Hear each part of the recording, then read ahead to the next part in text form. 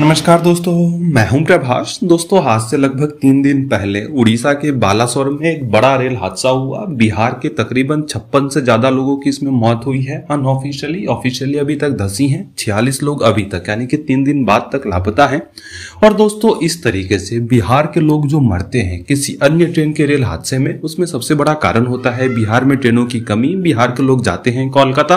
कोलकाता से चेन्नई की ट्रेन पकड़ते हैं और जब ये ट्रेनें दुर्घटनाग्रस्त होती हैं तो बिहार बिहार के लोग भी मारे जाते हैं। और दोस्तों, इस समस्याओं को कम करने के लिए हमारी रेलवे धीरे धीरे प्रयासरत है। अब दोस्तों, यहाँ पे दरभंगा जंक्शन को रेलवे ने दो ट्रेनों की सौगात दी है। सबसे पहली जो यहाँ पे ट्रेन है, यह है जयनगर से अमृतसर के लिए। और ये ट्रेन जयनगर से खुलने के बाद इसका जो पहला स्टॉपेज है, वो सीधा दिया गया है दरभंगा जंक्शन पे मधुबनी और सकरी। में इस ट्रेन का कोई भी स्टॉपेज नहीं है। उस उसके बाद ये ट्रेन समस्तीपुर, मुजफ्फरपुर होते हुए अमृतसर तक जाएगी। ये जो ट्रेन है, ये शुक्रवार को चलेगी जयनगर से, अमृतसर से रविवार को चलेगी और पूरे के पूरे जून महीने में इस ट्रेन को चलाया जाना है। यहाँ पे जो दूसरी ट्रेन है, यह है दरभंगा अजमेर एक्सप्रेस, जो कि चलने थी एक जून तक। लेकिन अब यहाँ पे एक बार फिर से रेलवे ने इस ट्रेन को विस्तारित कर दिया है। अब ये ट्रेन पूरे के पूरे जून महीने में चलेगी, यानी कि पूरा का पूरा जून, लगभग चार ट्रिप के लिए इस ट्रेन को एक्सटेंड किया गया है।